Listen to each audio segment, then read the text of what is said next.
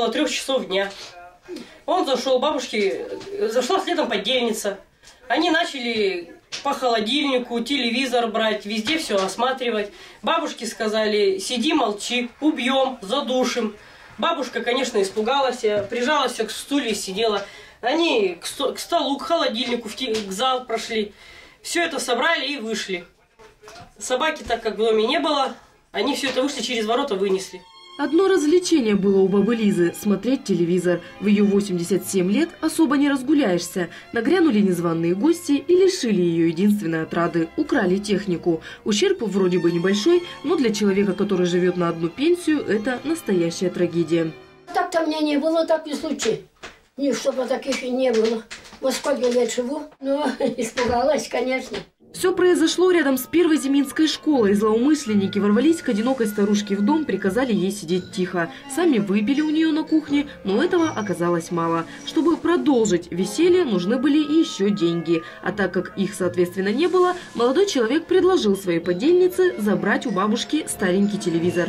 Ну, я его забрал, да ушел с телевизора. А девушка осталась с бабушкой, но там осталась у нее спать. А телевизор вы куда повезли? Ну, я увез его, продал сестре. За сколько продали? За тысячу рублей. И на что потратили? А я этих денег не успел, ведь меня забрали сотрудники милиции.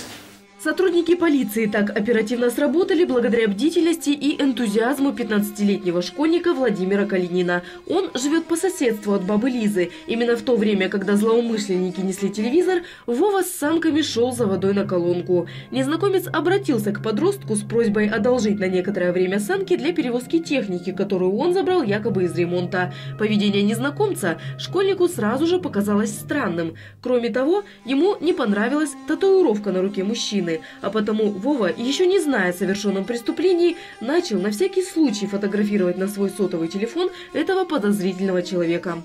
Потом вот здесь вот как вот стояли следы у него, ну здесь вот, от телевизора. Я сфотографировал следы телевизора и след его отпечатков ботинков. Ну а когда самки вернули и Вова отправился домой, мальчик услышал крики о помощи. Баба Лиза со слезами на глазах рассказывала соседям о своем несчастье. Я даже не знаю, кто вызвал полицию, потому что я дома была. Только что вот он сразу, когда за это самое сказали, что обворовали соседку, он тут же, мама, я знаю, кто это, человек, кого и чего, и побежал. Я пошел к ее родственникам, ну, они живут там через два дома от нее. Вот, и сказал, что так и так проверьте, вдруг у него телевизор не на месте. Потому что что я знаю, кто это сделал, видел. Они сходили, проверили, телевизора нет. Они начали звонить а, уже, это, уже дальше родственников звонить, что это украли телевизор. А я уже этим временем пошел уже искать по следам. Уже самки же следы оставляют. Вот пошел искать по следам. Далее сценарий развивался прямо как в детективных сериалах, которые Вова, кстати, очень любит смотреть.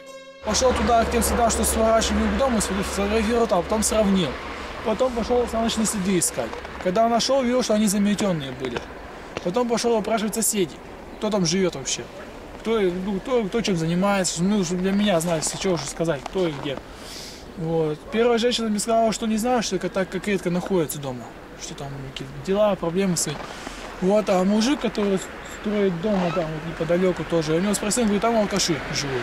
Алкаши, бомжи, все это темные личности. Юный Шерлок Холмс, собрав полную коллекцию улик, вызвал полицию и указал следственно-оперативной группе дом, куда вошел мужчина с телевизором. Подозреваемого и его сообщницу задержали. Лицо, которое совершило преступление, ранее неоднократно судимое, в тот же день было задержано в порядке статьи 91 и в дальнейшем судом было избрано мера пресечения арест. Школьник, который совершил вот этот поступок, был награжден. Это будет одним из доказательств, которое э, ляжет в уголовное дело. И в дальнейшем при рассмотрении дела в Зенитском городском суде это окажет также немаловажную роль на доказывание вины подозреваемого. Я не хотел не воровать, не хотел ничего. Я ходил, скитался 10 9 месяцев скитался, он ночевал в подъездах, там, черт поймешь, что ел. Но в концовке мне надоело это все. Ситуация уникальна тем, что подросток не остался равнодушным, тогда как большинство взрослых наверняка бы предпочли отмахнуться от подозрений, выкинуть их из головы по принципу «моя хата с краю». Кто-то говорит, меня спрашивают, ты не боишься его, что когда он вернется с тюрьмы, там еще что-нибудь? Я говорю, нет, я не боюсь. У меня есть друзья, у меня есть родители, кто мне могут помочь. Награда ждала героя прямо в школе на торжественной линейке. Сознательному и дотошному мальчику сотрудники полиции вручили почетную грамоту и ценный подарок. За активную гражданскую позицию и содействие в раскрытии тяжкого преступления мы вас награждаем вот этой благодарностью.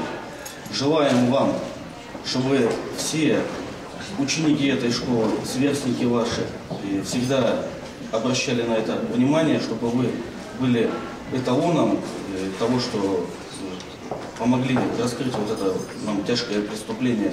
И ждем всех в дальнейшем в полиции. Будет желание, приходите. Всегда примем на службу. Такие нам мальчишки будут нужны. Спасибо.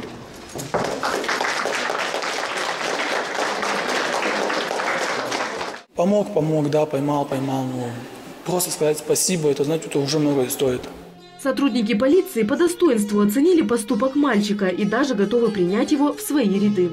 Я думаю, что у вас возникнет желание поступить в Восточно-Сибирский институт МВД. Вот. Вы обратитесь к нам, мы вам поможем. Впрочем, и сам герой уже задумался о своей будущей профессии. Возможно, он пойдет по стопам своего деда, который много лет проработал в милиции. Говорит, может даже станет следователем. Практику уже почти прошел, осталась теория. Ну, я сейчас сравнил, что вот я что-то сделал, да, вот что-то ну, для меня необычное такое, что вот первый раз. А потом, знаете, я с этим смирился, я понял, что ну это случай, ну что может произойти в жизни у каждого, у каждого человека, в каждой семье.